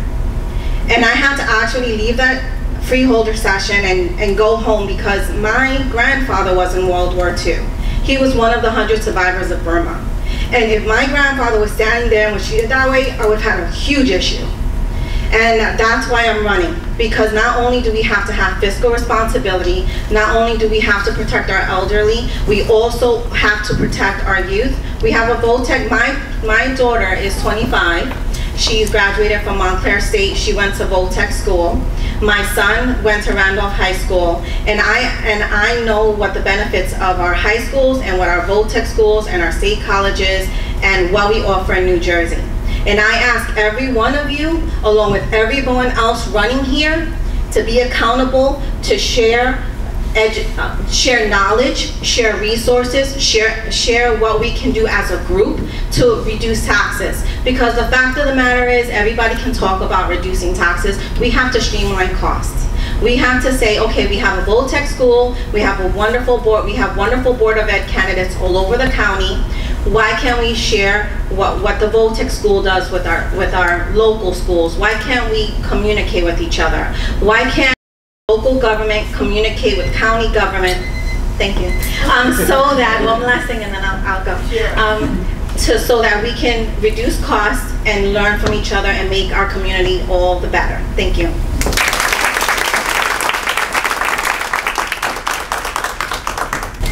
The first candidate um, is Betty Lou DeCroce. Unfortunately, she couldn't be with us, so she sent Aurora Dunn to, um, to give a little talk regarding um, Betty Lou. Unfortunately, she couldn't come. Good evening, ladies and gentlemen, and little ladies and gentlemen. It's awesome that you're here on school night, be part of Civics 101, so kudos to you. And my name is Aura Dunn. I have an honor to speak for Assemblywoman Betty Lou DeCroce, and I will be reading her statement. Uh, I'm not going to try to impersonate her voice or anything like that, so I do apologize to be reading through, but hopefully it's what her passion uh, is what comes through in this letter. My name is Aura Dunn. I'm honored to be here. Assemblywoman DeCroce apologizes. She was unable to attend for a previous commitment that she was unable to get at. Thank you, everyone, for making tonight possible. I truly regret not being able to deliver these remarks in person. It is an honor to serve the people of Morris, Essex, and Passaic counties as your Assemblywoman. While we are certainly a diverse community in New Jersey, we all share many of the basic concerns about the quality of life we want to maintain and achieve. We want quality schools. We want our children to develop in successful, uh, into, to develop into successful and responsible adults. We want a clean environment. And we want to find solutions to the financial pressures we all face. New Jersey has become increasingly unaffordable. Taxes keep rising, and we all struggle to keep our friends and families together as we live and work in the state. As your Assemblywoman, I have been fighting to make New Jersey more affordable, and I have earned a strong reputation for working in a bipartisan manner. A good idea is a good idea, whether it comes from someone who carries the label of Republican, Democrat, or Independent. I have never let party politics stop me from doing my job, representing your concerns in Trenton. That is why my reelection has been endorsed by such a diverse, such diverse groups as the small business owners of the National Federation of Independent Business, the working men and women at Local 825, the International Union of Engineers, our teachers at the New Jersey Education Association, and the brave law enforcement officers at the New Jersey Policemen's Benevolent Association. They know that in this polarized political atmosphere, I have not lost sight of what is important in New Jersey. For example, Before the recent vaping deaths that garnered national attention this past summer, I introduced legislation to further protect our children from electronic smoking devices by closing a loophole in our laws. People under 21 are not permitted to purchase these harmful products, but nothing in the law bans them from possessing and using the devices. I also have introduced legislation to protect our children from those using social media and the internet to market this junk to our young people, along with other negative influences such as video games. In the area of education, I am pushing Governor Murphy to authorize an audit of the nearly $28 billion in state, federal, and local dollars spent each year on education in New Jersey. School costs are by far the largest drain on property taxes, particularly in our region, and we must end the duplication of services, expenses, and purchases so our children benefit from every dollar we spend on our schools.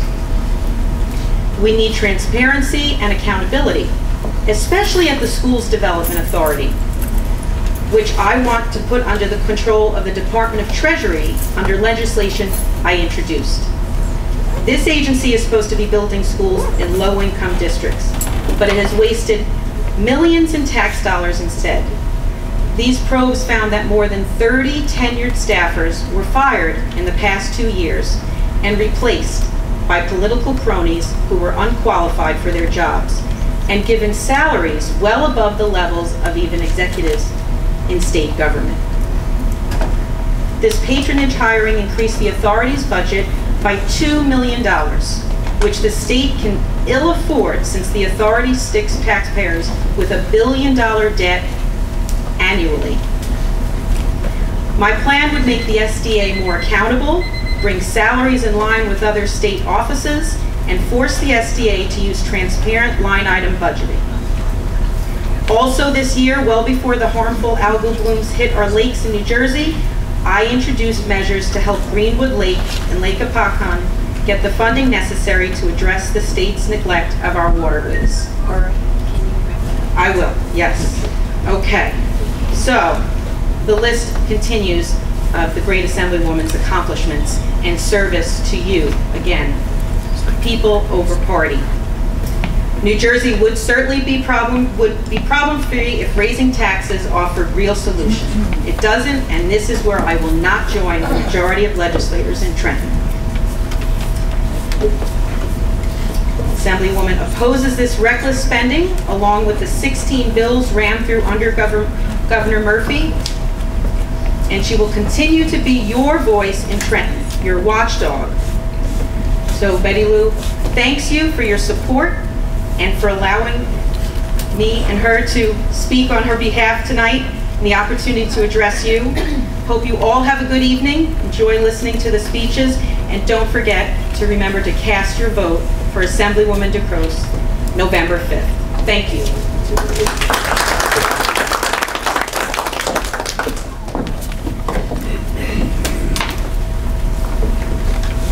Our next speaker is Christina Clarke.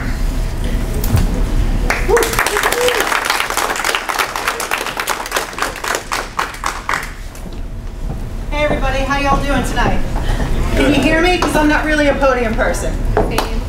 Thank you, Pat, for putting this together. I'm sorry, Doug, that I'm making you move your camera. Thank you to everybody who stepped up to public service and decided to run. Real quick before we get started, I want to congratulate Assemblyman Webber on the birth of his daughter tonight. That's amazing. Um, we just celebrated the birth of my son yesterday. He's four now. But, you know, I know how precious it is to have that new little one, so I hope his family has a great time bonding together. And I want to thank my friend Anne Marie Principe for joining me. She has been an instrumental figure in making sure that the Victims Compensation Fund was passed at the federal level to make sure that we're doing right by our World Trade Center heroes. So thank you, Anne Marie, for your service. Thank you to my political director, who for some reason puts up with me. Um, my name is Christine Clarke. I'm an environmental advocate, I'm a grassroots organizer, I'm a mother of four, and I'm running for state assembly in the New Jersey's 26th district uh, to advance clean energy jobs, protect clean air and water, improve our health care, and broadly legislate with empathy and fiscal responsibility. As someone who lives on a single income in a working family with four children, uh, who at the beginning of the race were 15, 13, 5, and 3, and are now 15, 13, 6, and 4 as of yesterday. Um, I know how hard it is to stretch a dollar. I know that you have a limited income and that when your taxes raise or your healthcare bills go up, it squeezes the family in a way that is just unsustainable. You know, we've heard a lot tonight about how we can manage our tax dollars, and that's fantastic. But what we need to do is get some people down in Trenton who look at the way forward, who look at how we're going to generate more money. You know, in a household, people take a second job, they revise their resume, they look at mom going out to work, they try to figure out what they can do to make sure that expenses are met and people get by. And that's what we could be doing at the state level right now. This is something I work on anyway. I'm a trained climate reality leader. I'm an honorary advisor with the United Nations NGO Committee on Sustainable Development, and I'm with the Jersey Renews Coalition, which is an excellent exercise in bipartisanship and good governance. Because in that space, all 60 participating organizations, from the unions worried about their jobs and making sure that they can continue building pipelines, to the people calling for a fossil fuel moratorium, are equals in that space and all have a chair at the table and all have an opportunity to help write policy together. And that's what Trenton should look like. People working together in good faith, trying to protect our water and our air and our natural resources, our jobs and our people and our public health, and write the best policy we can to move this state forward. Um, having worked with the Business Network for offshore wind in that capacity, I've had the great opportunity to see where New Jersey is and our unique position to lead as we move forward into the renewable energy movement. Around the world, 10.5 million people are employed in solar, wind, and biofuels, and that's expected to grow to 28 million by 2050. Let's lead the pack. We have ideal conditions for offshore wind. We have the largest procurement out there. We're looking at 40,000 jobs in the currently leased areas alone. The Clean Energy Act, which our incumbents did not support last year, has generated over 32,000 jobs in its first year alone. And we have excellent conditions for solar as well. This can invite new families in to settle. This can build our tax base. This can generate millions in new revenue for our state. Remember we were just talking about sustainable income? If we're not bringing more money in, we're looking at stretching dollars farther and farther. And while I too am a fiscal conservative, I also want to make sure that my children don't inherit a financial mess like our kids would if we don't start changing course and correcting course and where we're going. I'm also worried about our health care. See, I'm currently mm. 42 years old and my daughter is six, which was the conditions my aunt faced when she started having headaches one week at a point when she couldn't fit insurance into her family budget. She was a small business owner, and the cost of procuring insurance was so much more than she could budget for that she would take care of her kids. She would take her kids to the doctor, but she didn't go for herself. She didn't get her teeth taken care of. She didn't make sure that she went when she had aches and pains. So she started having headaches one week and went to the doctor, and they gave her a narcotic painkiller and sent her home. Um, and by the weekend, she was light sensitive, and we were putting washcloths on her head, and we were trying to help her out and take care of her. Um, we were calling to find out what else we could do, and they said she needed a CAT scan. But due to the several thousand dollar cost, she put off that test to Monday. She didn't make it to Monday. She died Saturday night in bed beside my six year old cousin, who remembers when her mother's brain started hemorrhaging. And if she had gone to the hospital and had a test, a simple antibiotic would have saved her life. It was a dental or a sinus infection that traveled and took her life because of the costs of healthcare in this country. We need to do better. We need to do better by New Jersey's residents. We need to do better managing our money. We need to do better taking care of each other. And as someone who knows firsthand what it's like to have to make sure that we meet all of our bills, that we pull from savings, that we figure out a way to get by, I don't want to see more New Jersey's families struggle when we have such an opportunity right now to change the course of our state and build the way forward into a sustainable future. My name is Christine Clarke. My website is clarkeforassembly.com. We're endorsed by a number of organizations, including uh, being the first New Jersey candidate endorsed by Vote Mama PAC, which elects mothers of young women, uh, young children rather, to public office. Uh, we're endorsed by the NJAE, EA, excuse me, and the AFT, the AFL-CIO, the nurses, uh, the firefighters, and a number of other groups that know I will go down there just as I've been for the last few years as a volunteer advocate, fight for us all. I hope on November 5th to have your vote so that I can get that done for you. Thank you.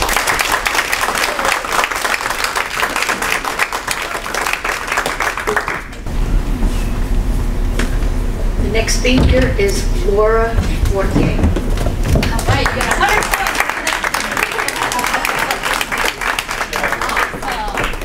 Thank you. Hi, everybody. thank you all for being here. Um, it's great to, to be here and to represent. Um, Christine Clarke and I are your two candidates for assembly. See four on the ballot, you get to choose two. Um, I am from Verona, which is the Essex part of the 26th district. I've lived there for 25 years. I'm a mom to three public school educated kids. I am a small business owner. I'm a wife. I'm a five-time author. I've gotten to be on the Oprah show. And um, if you Google my name, you'll find a TED Talk with over a million views. So I've had opportunities to speak to people from all over the place, but this past year has been all about the 26th district.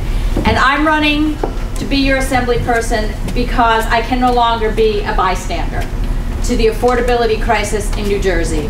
I have a child with a pre-existing condition with uncovered medication at the tune of $1,000 per month. So I understand what it's like to live in New Jersey with everything that's going on, right? So here we are in a state that has drug companies that are on the verge of curing cancer, and we have people who can't afford their insulin. We are now the number one ranked school system in the entire country. And yet we have districts going broke, and in Morris County we turn away two thirds of the students who want to get into our fabulous Vo-Tech program. We are a state that has great jobs, great opportunities, and huge GDP coming through here, and yet we have a transportation system that's broken and archaic. So clearly we're not doing something right. We are not investing in the right places. And New Jersey is not moving forward. So I am running with a background of being a small business owner. I have worked for 25 years with individuals, small business owners, and large organizations like NASA, the Army Corps of Engineers, and the World Bank. And what those organizations ask me to help them do is to find the solutions they cannot find themselves. So I don't come in and tell them what to do. I come in and help them speak to each other and figure out the solution that might be right in front of them. So that I think would be very transferable to Trent. So people working together to move everybody forward. And that's what I want to do. Uh, my priorities, besides making New Jersey people the priority again, instead of sweetheart deals and handshake deals in our political world, is healthcare, education, and taxes, and I see them completely correlated with each other. When I knock on the doors, which I do to talk to voters, the number one thing they tell me is their property taxes are too high. So that's where I want to focus the little bit of time that I have here with you tonight. If we look at our schools, some of the towns in the 26th district are taking on the burden of paying 93% of their school budgets from their tax dollars, their property tax dollars.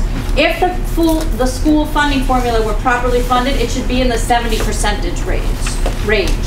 So we have work to do to get that formula equally distributed. Also, the healthcare costs for our schools and staff. Everybody needs to have health care, but we need to do a better job negotiating maybe in larger groups so that we can bring down that variable. Every year it's unpredictable and less gets spent on curriculum and more on our healthcare costs. Also, special needs is a huge concern for each municipality, and there's talk of bringing that under the state's umbrella of responsibility. That would be a huge relief to our municipalities. Let's talk about rebates. We used to have that homestead rebate. Like to get it back to the before Christie level of help for people. And also veterans only get a $250 you know, what do you want to even call it? Dinner out for five um, off their taxes. And that's an old number, clearly. We need to do better and reevaluate that number and help those heroes get a break on their taxes. We have a lot of waste in New Jersey. No, if you're reading the newspapers and online, that's not news to you. We need to have transparency and accountability in any kind of breaks that we give to anybody because we're not seeing it back where it belongs, which is in our communities. Um, I want to talk very succinctly and especially about how we deal with small problems and overlook them until they become big problems. We talked about the lakes earlier. In 2012, our incumbents voted no to stormwater maintenance tax. Okay, I understand we want to keep taxes down, but when we don't vote for something like that, and then we're calling for $4 million to be the hero and rescue the lakes, this is a problem we could have avoided. So I will wrap up by saying my name, Fortgang, actually means moving forward. So I want to help find solutions that move everybody forward. Thank you for being here, and please vote for us on November 5th.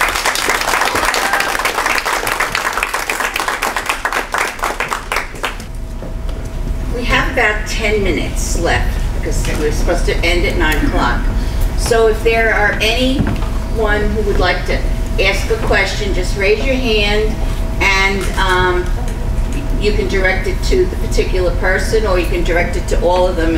We'll give as many of them chance to opportun- to speak.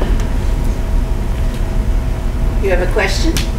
I got a question for all the candidates.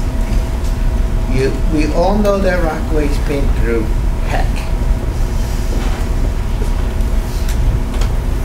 My question for all of you, including our sheriff candidates, how will you prevent the next bullying by a student, by someone terroristic threats a synagogue or a church or temples or anything, any of our religious mosques. We have, right now, this country's going through chaos where fight, everybody's fighting each other. How will you, as candidates, work to bring unity to communities? Ads directed at everybody. Okay, uh, you want to make, you want to do an answer to that? And then if there's anyone else that would like to answer too. I think it's a great question. Just take, when you talk about bullying and those types of things. It's called leakage, right? You know, in matters of school violence, let's take that. In matters of school violence, 81% of the time, according to the Secret Service, there's leakage. In other words, someone knew about the behavior, someone knew about the plan prior to the incident, okay? The application, that app, that free app that was developed and launched last week will do just that. We'll give a voice to children, their students, and the community at large to deal with those types of issues before they happen. That's what we want to do. Identify the behavior early with regards to the bullying or whatever, you know, there's bullying specialists in schools, those types of things. It would be the interaction between that reporting mechanism, which is recommended by every smart person, okay? But in the document from the Secret Service, okay? Uh, get it to the right people, you know, the police, the educators, mental health experts, those types of things, to deal with those issues before they happen. So that's just one example of what that would ha- of how that would happen. Okay? Thank you for the question. Okay, uh, Mr. Schievella would like to. Thanks for the question to everybody, but I, I just want to tell you, my opinion as a law enforcement officer, uh, the app is great, absolutely. But there is no substitute for putting police officers in your schools. Police officers building a bridge with teachers, building a bridge with mental health people, there is no substitute for personal relationships. Our schools are our biggest liability, and it's something that we need to pay attention to. It takes resources to make schools safe.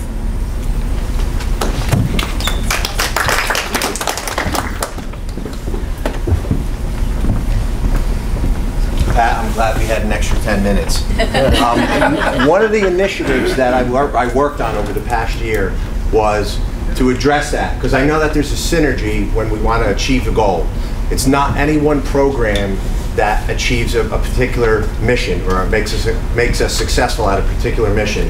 One of those programs was putting Class 3 specials into our schools. Over the past year, I worked on that. We've been successful. I just put, we have five elementary schools, we have a middle school. We are on the way to putting those bodies into the schools. I hired two former prosecutor uh, detectives um, that are in there now. We have one of our local guys, Scott Haig. I'm sure you're all familiar with him. All highly qualified people. Those kids in that school, you want to talk about bullying? They're going to be able to interact with those officers in the hallway. They are going to have a personal connection. When a child is feeling emotionally distraught, he's going to be able to go to somebody. There's going to be a relationship there. So I think that's going to start, the best process to control that is at the local level by having those officers in the school. And we also put a SRO, a full-time officer, not a retired police officer, that serves as a class three. We put a full-time SRO in the schools. That also uh, brings me to the point of, I'm going to digress for a second, our shared services. That is a shared service initiative between the police department and the school system. And that's something that I did as mayor to build those bridges, to work with our Board of Education. I know we only had five minutes, and like I said, I'm glad we had an extra minute or two. There's so much that has gone on, that has gone on this past year that can speak to that. Thank you.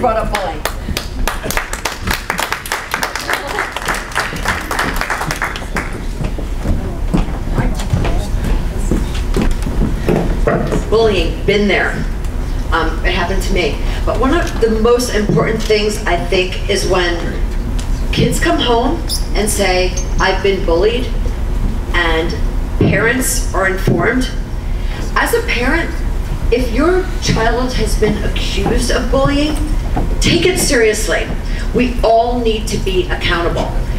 Sometimes we don't expect our kids to be the bullies, but let's believe the kids. And if when they tell you something bad was said, something racist, something religious, get who taught you to say that? Get deep into it. Talk to your kids about it. Ask them, did you say this? Because eventually you're gonna know. They, you really need to be accountable whether you are the one being bullied and report it, report it, report it. And if your kids are accused, believe it, be accountable, be a part of the action. We need proper discipline, get it taken care of before it leads to tragedy, because we have to get better.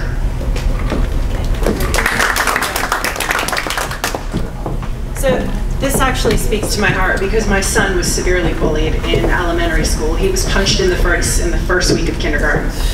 Um, so in the course of the campaign, we've been going around, we've been listening to different groups speak about the hardships that people hear and feel and experience.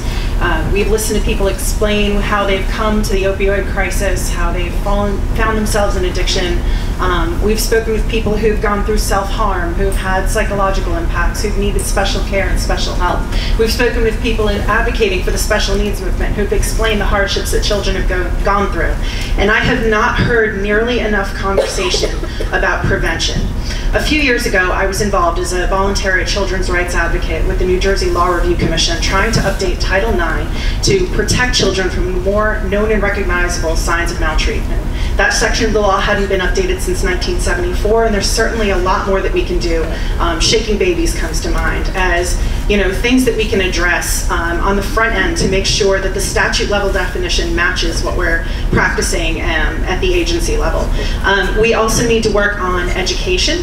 Um, they statistically in America, a child is safer in the middle of a busy highway than in their own home.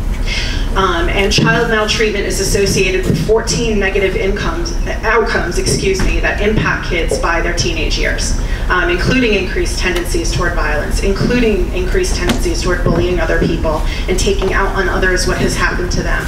Um, so we need to look at a state level at prevention and education programs. Um, at a local level, we need to look at programs that will teach children coping mechanisms for stress, uh, ways to release anger and hard feelings in ways that don't hurt other people, and de escalation techniques. So if they find themselves in a bullying situation, they can work their ways out of it.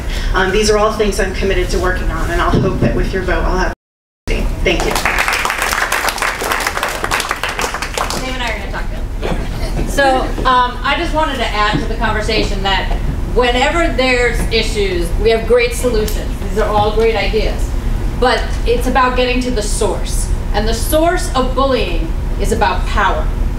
And it's the, the powerless trying to get powerful by making other people powerless. So no matter what remedy we choose, we have to look at what causes people to feel powerless. Are they not heard? Are they not getting what they want? And so that's the invitation that I'm adding to all of us is whatever program we do or whatever we're going to look at it, you have to get to the source of it. So I'll let him add from a more clinical perspective. Again, Dave Timpanaro, uh, freeholder candidate. And I wanted to speak to you, sir. It sounds like you've got a, a pretty broad question. And I, I work with that population I have my entire career. I've spent countless hours in IEP meetings and uh, child study team meetings um, pushing schools to act on their HIB laws and regulations. HIB is uh, harassment, intimidation, and bullying. It's a federal regulation, they have to follow it. Unfortunately, I've spent way too much time in the schools trying to create collaboration when they need to follow through. So, direct answer to your question, it's not just about the schools. From what I understand, you're talking about altogether the safety of people in our communities. And if we look at it throughout the schools, we need to be able to increase communication. Municipality to municipality, um, Board of Eds are off limits. Nobody wants to communicate back and forth. Separate budgeting, separate dollars, separate election process. So it- they tend to not want to cross that line and communicate. And that's, I think we're doing our children a disservice from doing that. Right? I think we're doing them a real injustice and they're not having the ability to flourish the way they're supposed to. And we're, we're failing them to keep them safe because of that. All right, in reference to students. Now, I could also say on the other side of that, as you look closer to some of these mass shootings and so on that we do have, um, no issues with, with gun safety, no issues with using a gun. I've shot them myself. All right, I do not have an affiliation, nor do I ever have any interest in having an affiliation with the NRA. Unfortunately, if you look on the other side of the aisle of my opponent, you won't find that same trust. And you'll find that line there. So you have to determine, is it party over people or people over party? Right? And to keep people safe in the community, quite simply, the only thing we have to do is increase communication, increase money where it needs to be, and pull it from where you have it. Right? Not every program we're spending money on is efficient. But if we communicate with everybody across the state, right, cross that boundary. I don't care if you like Murphy or don't like Murphy. Guess who he is? He's our governor. So that's who we have to communicate whether we like him or not. It doesn't matter if you like your municipality, it doesn't matter if you like the county people you're working with. I'm not running to make friends. I'm running to make a difference. And that's what we're going to be able to do is we can increase that communication. If I take my education and I make that happen, I think that uh, that would answer your question. I think we can all be better. Thank you. Just have, um, just make sure that everyone has signed my attendance sheet. I kind of like to keep a record of how many people were here, so if you haven't signed it, I'm gonna leave it over here on the table, so please sign it. I especially want to thank all of the candidates who took time out of their busy schedules, because not only are they working people, then they, they are basically volunteers. When you think about the amount of time they put in, in, in political, uh, fields, most of them are volunteers. Um, so, and I really want to thank them all for coming. Uh, it's been a wonderful evening. I thank, I thank you all. I thank you all for coming. Uh, if your friends and neighbors weren't here, uh, let them know that YouTube will have the video so they can see uh, the responses from the candidates.